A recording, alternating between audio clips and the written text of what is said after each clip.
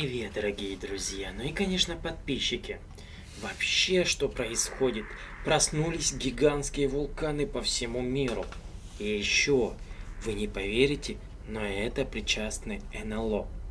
Сейчас происходят ужасающие моменты истины тех людей, которые столкнулись с неопознанными летающими объектами.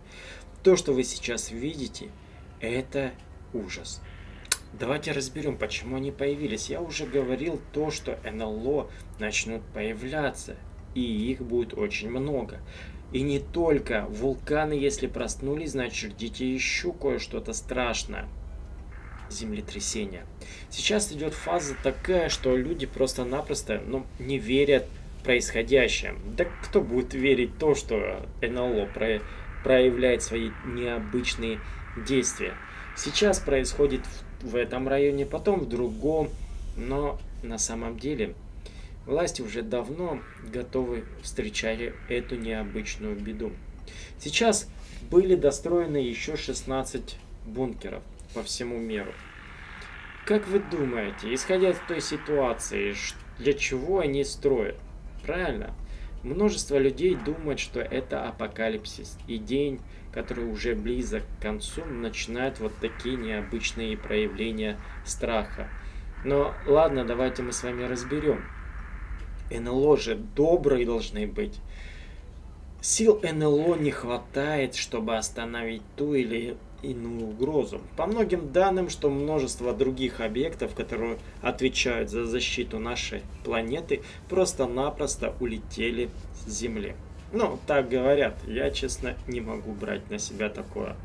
Но исходя всей ситуации, мы наблюдаем за необычными явлениями. Происходят необычные извержения необычных вулканов.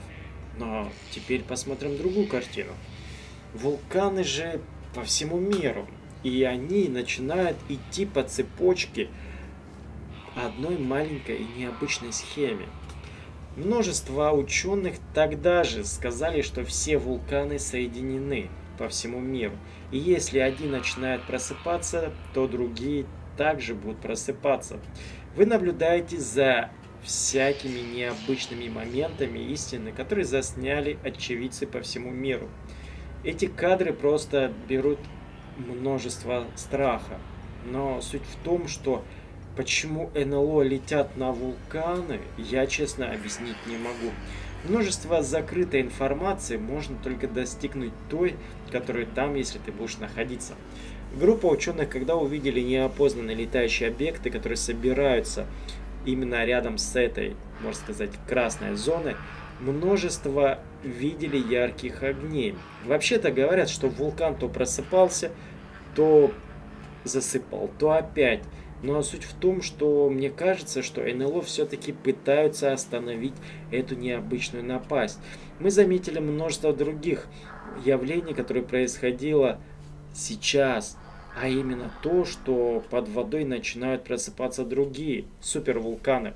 Сейчас множество очевидцев, которые наблюдают за этой ужасающей картиной, считают, что это классно. Но на самом деле это очень плохо, потому что множество токсинов из этого долбанного вулкана упадет на людей на голову. Они не смогут дышать, они не смогут ходить по улице. Кислотные дожди, необычные химические такие, в легких будут какие-то осадки и множество других явлений. А может даже и появятся необычные болезни. И все люди, которые наблюдают за этими моментами, они думают, что это все закончится. Оно все закончится, но представьте, за, за один день сразу проснулись 17 вулканов. Это только официально. А представьте, неофициально все-таки. Правильно. Я не знаю, что происходит, но множество таких явлений считается, что неизбежность того, что мы с вами видим – Вулканы бывают разные, подводные, наземные и множество другие, даже пещерные.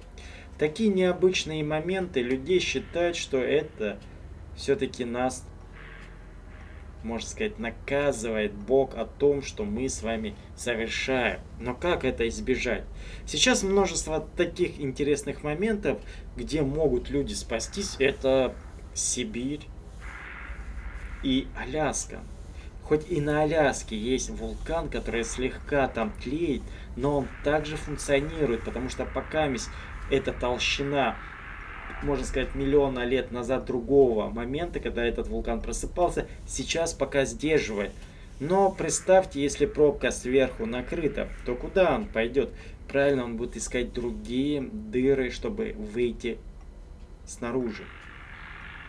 Но что теперь другое происходит? Власти понакупали множество этих бункеров. Можно так их назвать. Но суть не в том, что понакупали, а то, что как люди будут выживать, если ситуация и правда выйдет из-под контроля. Вообще много чего тайн можно увидеть. Есть советские бункера, есть немецкие, есть такие, их много просто.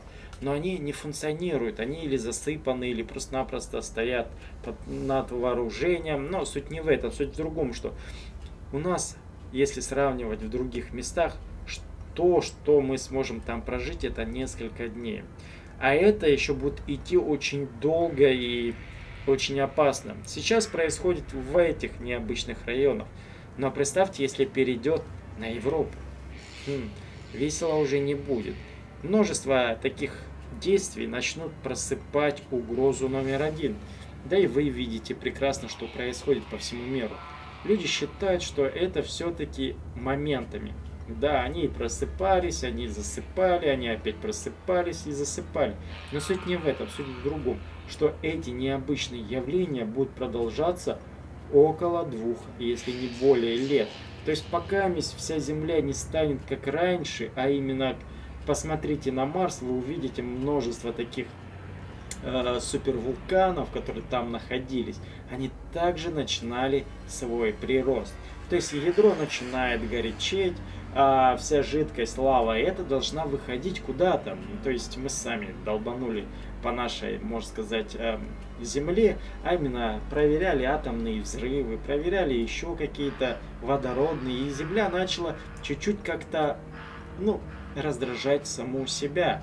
И вот такие необычные явления на протяжении несколько там десяток лет стали проявлять угрозу людей. Это не только то, что вы видите, это сейчас будут происходить еще моментально ужасающие моменты. Так что вот такие, дорогие друзья, если вы знаете, то ставьте лайк.